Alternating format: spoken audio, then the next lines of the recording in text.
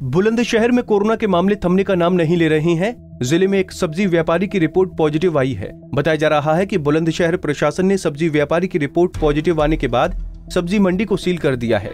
साथ ही सब्ज़ी मंडी को सैनिटाइज करने का निर्देश दिया गया है। मंडी सचिव मुद्रिका सिंह की माने तो मंडी को खाली कराकर सील किया जा रहा है, जबकि उच्च अधिकारियों के अग्रिम आदेश तक मंडी को सील ही रखा जाएगा। सील्ड हो गई और कल जो है होगा पूरी मंडी। सफ़ाई वफाई होकर के। अच्छा सर अग्रिम आदेश के आने तक खुलेगी या फिर कोई निर्धारित टाइम रखेगा इसको खोलने का दोबारा से? उच्च अधिकारी जैसे कहेंगे निर्देश देंगे। जी।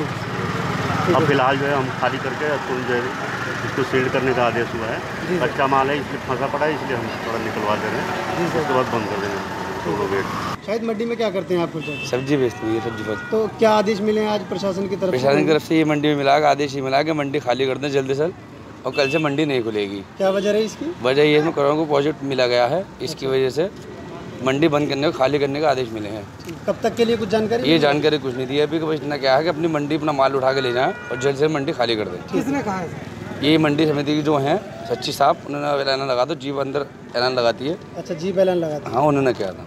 उधर हमीरपुर ज़िले में एक और कोरोना पॉजिटिव मरीज़ मिलने से हड़कंप मच गया है। बताया जा रहा है कि सुमेरपुर थाना के सिमनौड़ी गाँव का युवक बीते चार मई को महाराष्ट्र से वापस लौटा था, जिसका ग्यारह मई को सैंपल लेकर जाँच के लिए भेजा गया था। उसकी जाँच रिपोर्ट पॉजिटिव आने से प्रशासन में हड़कंप मच गया। अधिकारियों ने मौके पर पहुँच मरीज़ के परिवार वालों को क्वारंटीन कर दिया। ये अच्छे लाल मरीज़ जो कि सिमनोगड़ी गाँव का है, ये मुंबई सेंट्रल से लौटा, चार तारीख को वहाँ सवार हुआ और सात तारीख को यहाँ पहुँचा। आठ तारीख को जिला चिकित्सालय पहुँचा है और उसके बाद इसको जाँच करने के लिए, सैंपल लेने के लिए बताया गया तो ये सैंपल लेने के लिए दस तारीख को गया और ग्यारह तारीख को इसके सैंपल लिए गए जिसमें कि रिपोर्ट पॉजिटिव आई है।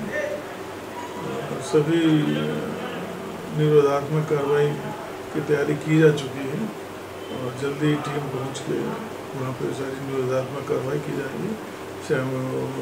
जो पॉजिटिव केस है, उसके कॉन्टैक्ट ट्रेसिंग होगी, सभी लोगों के भी सैंपल लिए जाएँगे। साथ में, जो भी कंटेनमेंट प्लान के तहत कार्रवाइयाँ होनी है, पुलिस विभाग द्वारा, प्रशासन द्वारा, वो सारी उस पूरे संपूर्ण गाँव की होगी। और उसमें सभी तरीके के प्रवेश निबंधित कर दिए जाएँगे। साथ ही साथ सैनिटाइजेशन का काम सभी घरों में घर घर जाके किया जाएगा, जिसके लिए हमारी टीम तैयार हो गई है और शीघ्र यहाँ से रवाना होने वाली है। आपको बता दें कि ग्रीन जोन वाले ज़िले हमीरपुर में कोरोना की दूसरी दस्तक है। इससे पहले एक युवक किडनी का डायलिसिस कराने ओरई ज़िले में गया था, जिसकी रिपोर्ट पॉजिटिव आई थी और बाद में वो नेगेटिव हो गया था। बुलंदशहर से इकबाल सैफी और हमीरपुर से रविंद्र सिंह की रिपोर्ट।